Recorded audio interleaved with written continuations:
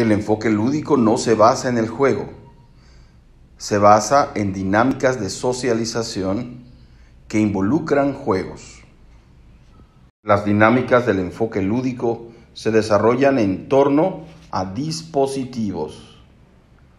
Estos dispositivos son diseñados para ser esquematizadores, metacognitivos y están orientados a la solución de una tarea cotidiana donde pueden aplicarse las nuevas habilidades desarrolladas para el aprendizaje, para la socialización y para la vida personal.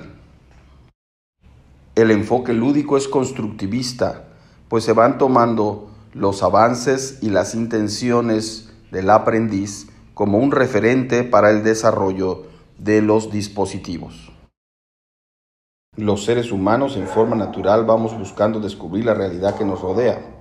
Por eso desarrollamos la filosofía, las ciencias, la técnica, la economía moderna y la socialización actual. ¿Por qué una persona de educación especial no tendría que tener su propia exploración del mundo? Debemos saber escuchar a la persona, saber dónde inicia su caminar hacia la solución que da al mundo que lo intriga. Debemos registrar y generar tablas de medición para obtener predicciones y caminos de trabajo. Muchas terapias están centradas en solucionar los problemas que se encuentran en forma particular en el individuo para el aprendizaje escolar. No es ese el principal proceso del enfoque lúdico, aunque sí utiliza la información que viene de diagnósticos, evaluaciones y terapias anteriores. No es una terapia para solucionar problemas de aprendizaje. Es un proceso de desarrollo donde el individuo se centra en su propio camino de fortalezas y no de debilidades.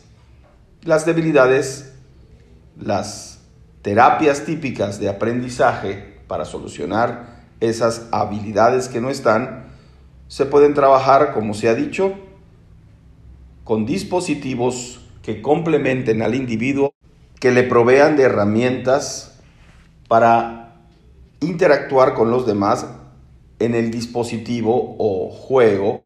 El individuo gestiona su propio éxito social en el desarrollo de su participación en la tarea